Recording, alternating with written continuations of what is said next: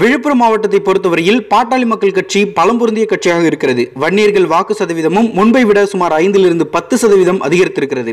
இந்த தொகுதியில் நேரடியாக பாமகவை களமிறங்குவதால் வன்னியர்கள் வாக்குகளை அழுவதிலும் பாமகவிற்கு எந்த சிரமமும் இருக்காது. அதிமுக தேமுதிக வாக்குகள்.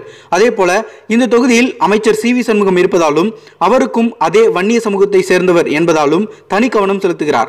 அதிமுகவின் வாக்கு வங்கி அப்படியே பாமகவுக்கு சிதறாமல் கிடைக்கும் என்பதில் எந்த சந்தேகமும் கிடையாது.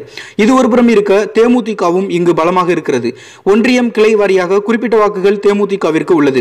ஏற்கனவே மக்கள் நல கூட்டணி ஆரம்பித்து விஜயகாந்தை படுகுழியில் தள்ளியதில் திருமாவுக்கும் பங்குள்ளதால் விஜயகாந்த் கட்சியினர் திருமாவளவன் மீது படுகோவத்தில் உள்ளனர். தற்பொழுது திமுக மீதும் கடுப்பில் இருப்பதால் சிந்தாமல் சிதறாமல் தேமுதிகவின் வாக்குகள் அப்படியே வடிவேல் ராவணனுக்கு கிடைக்கிறதுக்கான வாய்ப்புகள் அதிகமாக இருக்கிறது.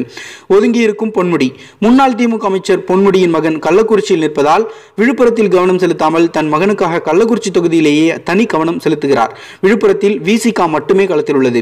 காங்கிரசுக்கு என்று சொல்லிக் கொள்ளும்படி வாக்கு வங்கி இங்கே இல்லை. அதேபோல் மதிமுகவும் வலுவாக இல்லாததால் ரவிக்குமார் வெற்றி பெறுவது சந்தேகம்தான் என்று சொல்கின்றார்கள் விழுப்புரம் தொகுதி மக்கள். விழுப்புரம் தொகுதியை பொறுத்தவரையில் பதினெட்டாயிரத்தி எண்ணூற்று முப்பத்தி இரண்டு பேரிடம் எடுத்த கருத்து கணிப்பில் எண்பத்தி ஒரு சதவீதம் பேர் பாட்டாளி மக்கள் கட்சிக்கு அதாவது அதிமுகவில் இருக்கும் பாட்டாளி மக்கள் கட்சிக்கு வாக்களிப்பதாக தெரிவித்துள்ளனர்.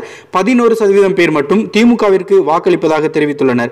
மீதமுள்ள எட்டு சதவீதம் பேர் மற்ற கட்சிகளுக்கு வாக்களிப்பதாக தெரிவித்துள்ளனர். இந்த வீடியோ பார்க்குற நீங்க சொல்லுங்க. விழுப்புரம் தொகுதியை பொறுத்த வரைக்கும் யார் ஜெயிப்பாங்க அப்படின்ற உங்களுடைய கருத்தை கமெண்ட்ல தெரிவிங்க. இது போன்ற வீடியோக்களுக்கு நம்ம சேனலை சப்ஸ்கிரைப் பண்ணுங்க. போல செம்ம இன்ட்ரெஸ்டிங்கான சூப்பரான வீடியோக்கள்லாம் உங்களுக்காகவே காத்துட்டு இருக்கு. ஸோ மறக்காம சேனலை சப்ஸ்கிரைப் பண்ணிக்கோங்க. அண்ட் இம்பார்ட்டனாக பக்கத்தில் இருக்கிற பெல் சிம்பிளை கிளிக் பண்ணி எனபிள் பண்ணிக்கோங்க.